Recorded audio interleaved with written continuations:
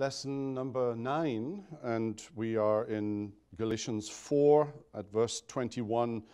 And I want to go all the way into the first verse of chapter 5. And it's that first verse of chapter 5 that I want to read at the very start of our lesson. For freedom, Christ has set us free. Stand firm, therefore, and do not submit again to a yoke of slavery. Freedom. Uh, September 1620, uh, the Mayflower. Uh, there was also the Speedwell, and it uh, had to come back because it was taking in uh, water. Uh, but the Mayflower set course from Holland, heading westwards across the Atlantic, 66 days later, November the 9th in 1620 uh, it was spotted off Cape Cod. 102 passengers of saints and strangers, 30 crew within months, uh, winter, um, and 45 of them uh, died. Uh, the saints, of course, came for freedom, uh, to escape uh, King James uh, in uh, England and the acts of intolerance uh, for uh, Puritan worship. Freedom. It's a birth of a nation story. And that's what Paul is now going to do here tell you the birth of a nation story. And it's about two women and one man and two sons, the birth uh, of Jews and Arabs, uh, Isaac and Ishmael, Sarah and Hagar, and of course, Abraham. And the issue, uh, verse 21 You who desire to be under the law, do you not listen to the law? And so he's going to tell us the history, and then Paul, in verses 24 through 27, is going to do something just a little bit weird, a little bit unusual. Paul is usually a logical thinker. Scholars say he was influenced in his rhetorical, analytical style by Quintilian uh, of, of, Greece. And uh, more often than not, Paul uh, argues and reasons logically now he turns to an entirely different way of teaching and he introduces what we call an allegory. Uh, like uh, Bunyan's Pilgrim's uh, pro- Progress, except the characters in this allegory are actual, real um, people. So he begins uh, with history, and he's back again with Abraham, and we've seen Abraham pop up several times because what he wants to say is that Jews and Gentiles, without obedience to the ceremonial law of the Old Testament, are equally children of Abraham. The point is that Abraham had more than one child. He had Ishmael, and that is a problem. And you remember in Genesis 16, Sarah um, told Abraham to sleep with Hagar, um, the slave girl uh, to all intents and, and, and purposes, and uh, Sarah is barren, and, um, and he, Abraham does that. And then in Genesis 18, you remember God comes to Abraham, who's mm, a hundred, and Sarah, who is 90 and, and says, You're going to have a son. And do you remember um, Sarah? She, she laughs and she's rebuked for laughing, but you can understand why she laughed. She's way past the age of childbearing. And uh, Isaac is born. And uh, the point here in verse 23 the son of the slave was born according to the flesh, while the son of the free woman was born through the promise. And he's setting up now uh, an allegory. Uh, one is of the flesh, and one is of faith. Uh, and it's a perfect allegory for what Paul has been talking about in terms of um, our justification. Uh, one view, the Judaizers' view, it's of the flesh, it's through obedience. It's through the imposition of laws upon the consciences of Christians that have no place uh, within the kingdom of God. And obedience to them out of conscience sake would be legalism. And the other is by faith um, alone. And uh, the point Ishmael was a slave and Isaac was free. And uh, that's the history. It's a history of the birth of a, uh, a nation story. And there's the way of the flesh, and there's the way of faith. There's the way of works, and there's uh, the way that is uh, reflective of how we are made right in the sight of God, not through human effort, not through human obedience, but entirely as a free gift from Almighty God and received by faith alone.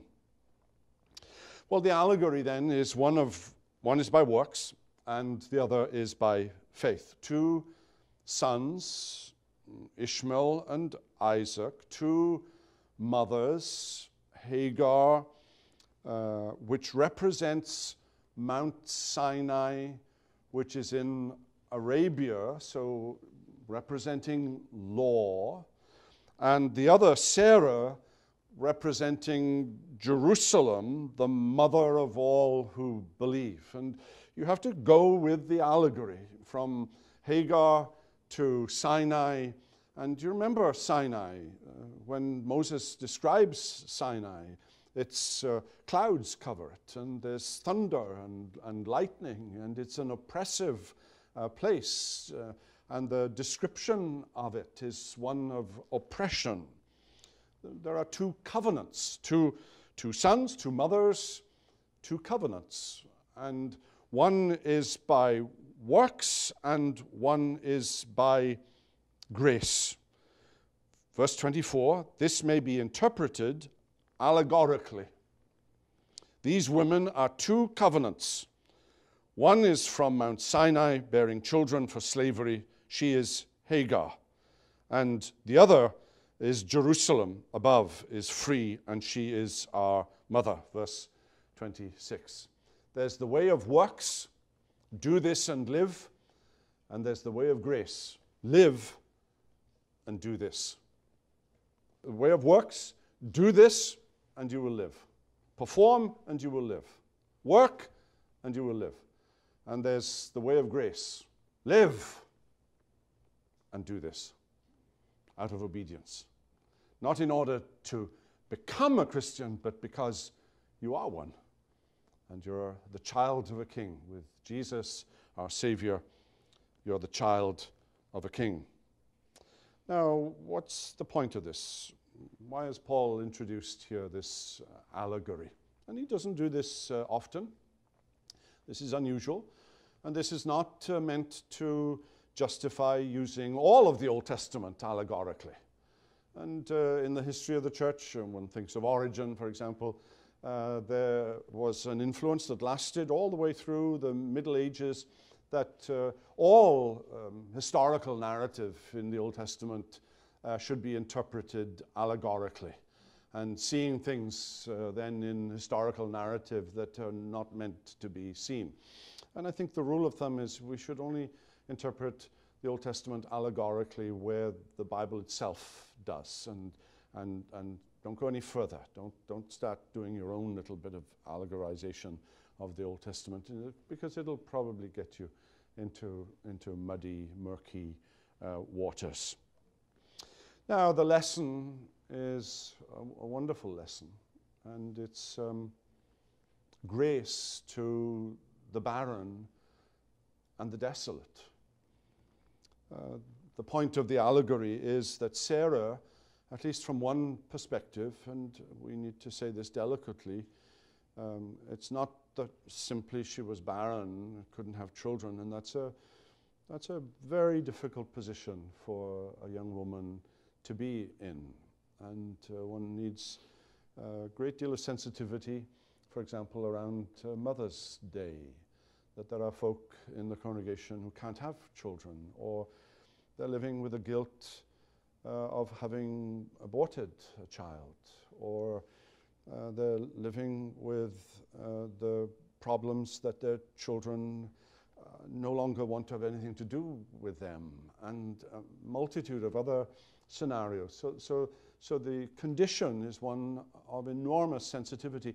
But in this instance, Sarah is 90 years old. She's, she's in her 10th decade of life.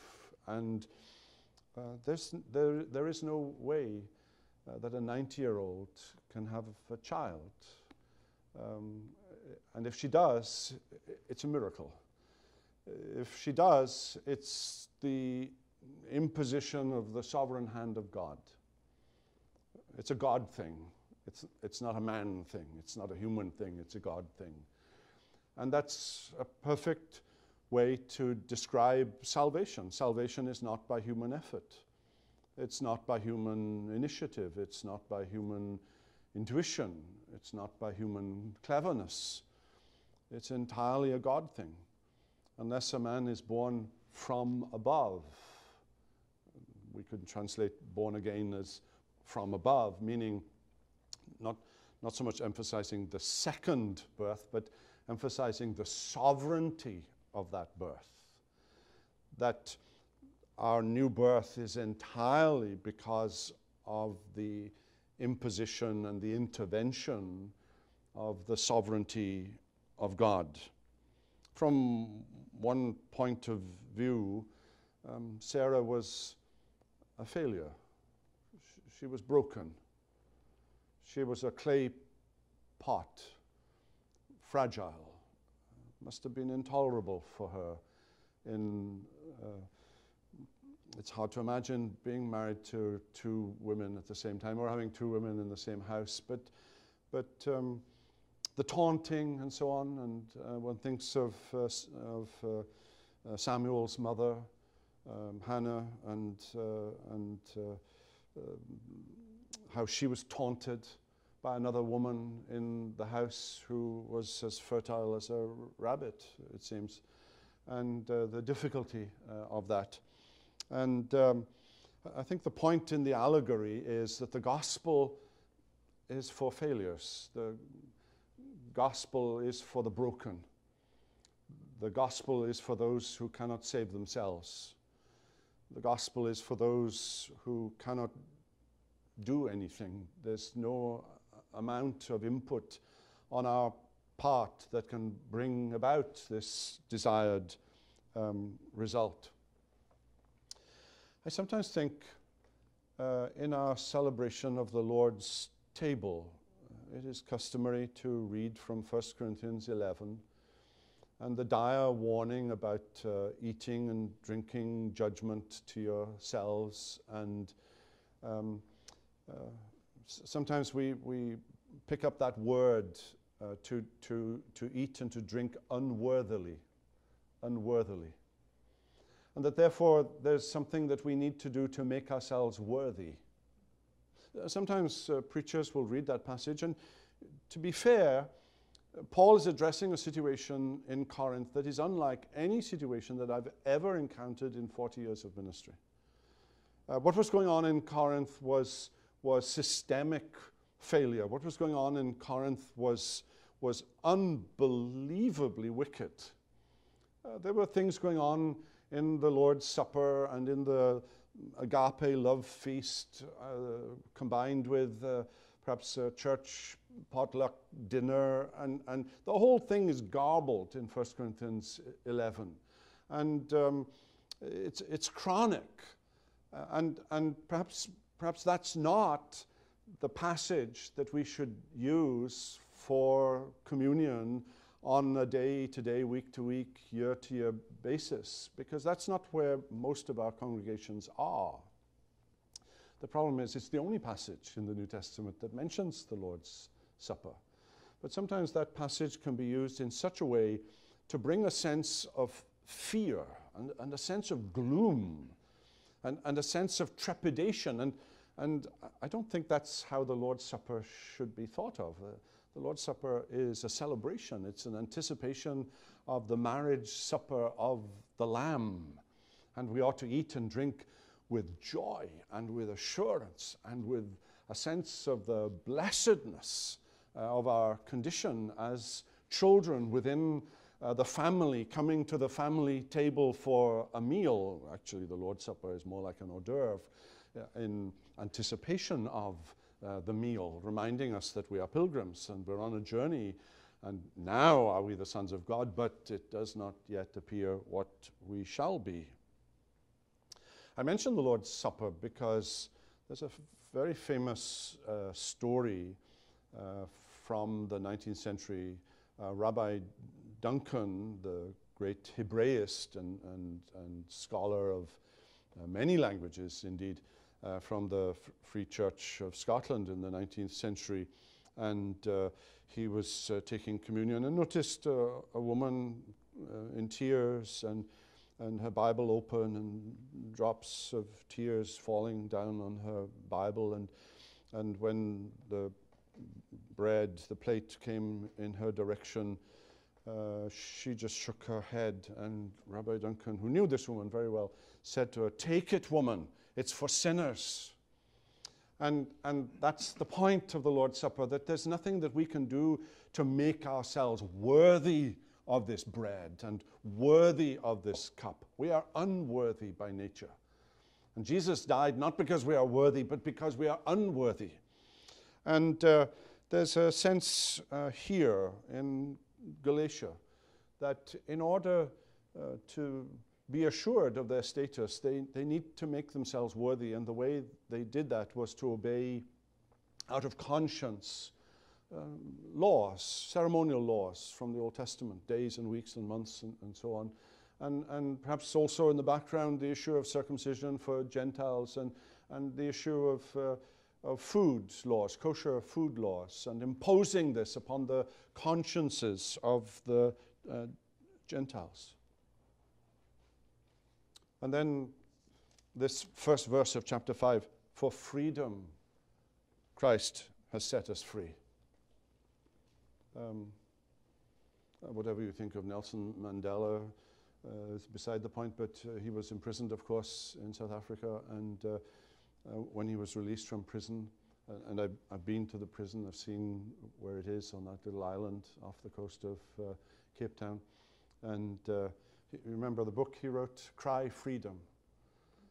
And, and that's really what Paul is saying here freedom. Don't, don't give that up. Liberty liberty and justice for all. Don't give up that liberty.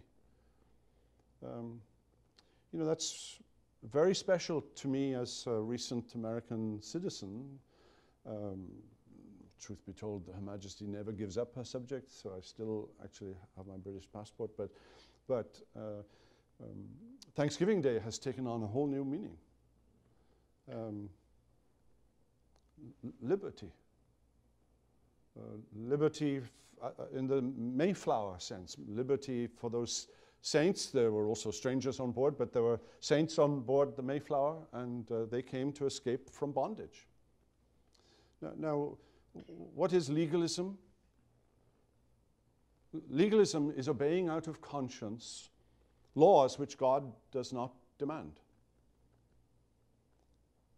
Obeying out of conscience meaning that if you don't obey these laws, your conscience is going to condemn you. Do this, do that.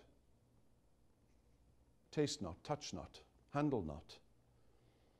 And uh, you, can, you can bring out the examples of uh, legalism in the church. Jesus has died to give you freedom. Jesus has died to give you freedom from imposing laws which have no business being imposed upon your conscience. And that, and that liberty, you know, it's the issue of uh, meat being offered to idols that Paul takes up elsewhere in Corinth and elsewhere in Epistle to the Romans and so on. 1 Corinthians 8, Romans 14. You know, and Abe is coming home from work and he's passing uh, the butcher's and uh, it's late at night, and there's no refrigeration, and there are flies everywhere, and uh, the meat is being offered uh, at a 25% of what it's worth. And he, and he says, um, uh, Give me the meat. And he pays for it, and he goes home and he says to his wife, uh, It's going to be uh, stew for supper tonight.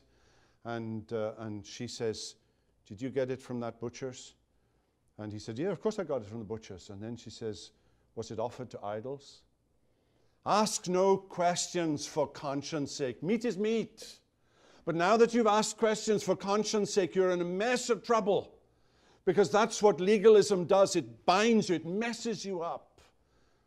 It makes you look at yourself and it makes you look at laws and it makes you look at obedience rather than look at Jesus who has given you freedom.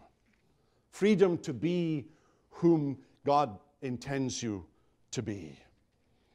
Well, celebrate that freedom and hold on to that freedom. Don't let law meddlers mess up your conscience.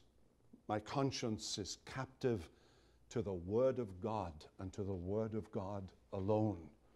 It was the heart of uh, Luther. Uh, so help me God, uh, that our consciences are held captive only to Jesus and to no one else. You notice in verse 29, Paul says, Just as at that time he who was born according to the flesh persecuted him who was born according to the Spirit, so it is now. And that's the heart of legalism. It's a form of persecution, it's a form of manipulation, it's a form of control. When churches, institutions, preachers, whoever they are, try to mess up your conscience, try to impose something that the Bible has never imposed, it's a form of persecution, it's a form of control, and you must not let it happen. Cry freedom. For freedom, Christ has set me free. Well, we'll have more to see about freedom in our next lesson.